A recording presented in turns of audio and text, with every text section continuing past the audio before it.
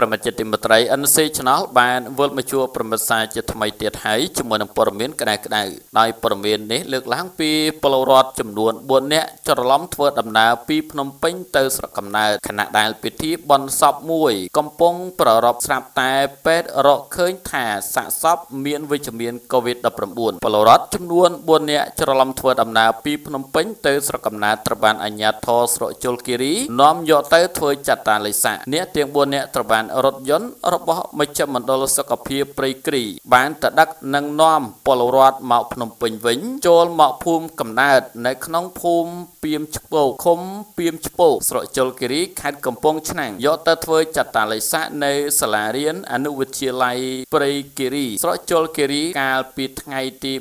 26ខែមេសាឆ្នាំ2021វេលាម៉ោង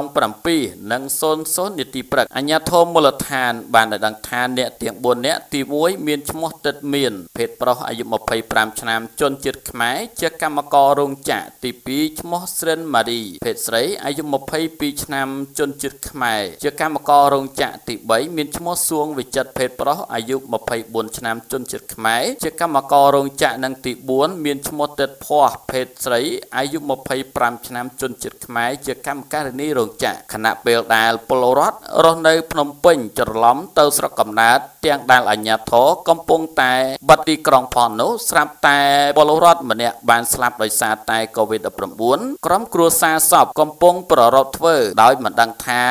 សពបានកើត COVID-19 នោះឡើយអ្នករស់នៅក្នុងភូមិដើមច័ន្ទសង្កាត់ច្បារអំពើទី2ខណ្ឌច្បារអំពើរាជធានីភ្នំពេញនាំគ្នាភ័យខ្លាចសឹងរួញខ្លួនខណៈដែលក្រុមគ្រូពេទ្យយកសំណារបស់លោកតាម្នាក់ឃើញមានវិជ្ជមាន COVID-19 ស្របពេលដែលក្រុមគ្រួសារកំពុងរៀបចំធ្វើពិធីបុណ្យយោងតាមសេចក្តីរាយការណ៍ពីលោកយិនវុតចៅសង្កាត់ច្បារអំពើទី2បានឲ្យដឹងថា កាលពីវេលាម៉ោង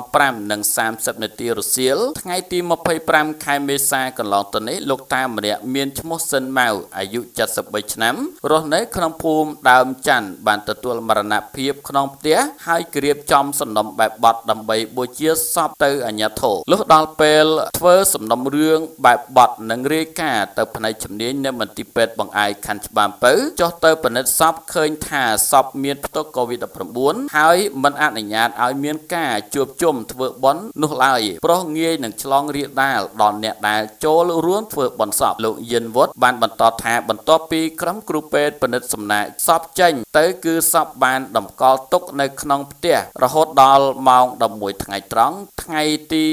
26ខែមេសានៅមិនទាន់ឃើញរថយន្តរបស់មន្ទីរពេទ្យមកដាក់សពយកទៅបូជា ធ្វើឲ្យពលរដ្ឋមានការភ័យខ្លាចយ៉ាងខ្លាំងសពត្រូវហើមពោះហើយជះក្លិនស្អុយលោកយិនវុតបានសនំពោទៅដល់ផ្នែកជំនាញប្រសិនបើពិនិត្យសពទៅឃើញថាមានមេរោគកូវីដនេះសូមមេត្តារុះរាន់និងយកទៅបូជាផងព្រោះគ្រាន់តែឮថាលោកតាបានទទួលមរណភាពដោយសារតែជំងឺ Covid-19 មកសូមបីតែកូនចៅបង្កើតនាំគ្នាភ័យខ្លាចរួញខ្លួនកំថាឡើយអ្នកនៅក្នុងភូមិហើយពុំដឹងថាលោកតាបានចម្លងទៅអ្នកភូមិណាខ្លះមុនពេលដែលលោកតាផុតដង្ហើមនោះឡើយដើម្បីទទួលបានព័ត៌មានថ្មីថ្មីជារៀងរាល់ថ្ងៃសូមប្រមិត្តចុច Subscribe ឬជាវនិងរូបកណ្ដឹងអរគុណសូមជម្រាបលា